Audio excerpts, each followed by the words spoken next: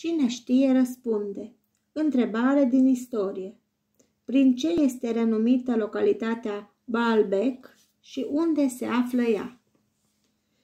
Localitate arheologică din Liban, situată în apropiere de Beirut, Baalbek este un străvechi centru fenician. El poartă numele zeului Baal, personificarea astrului zilei. Ulterior aici s-a dezvoltat orașul Heliopolis, orașul soarelui, și colonia romană Iulia Augusta Heliopolitana.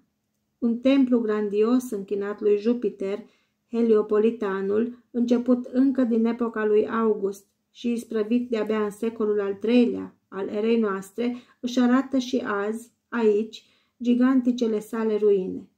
El ocupă o suprafață de 270 ori 120 de metri, Șase dintre cele 20 de coloane ridicate în fața templului, de peste 20 de metri înălțime fiecare, mai dăinuie și azi în picioare.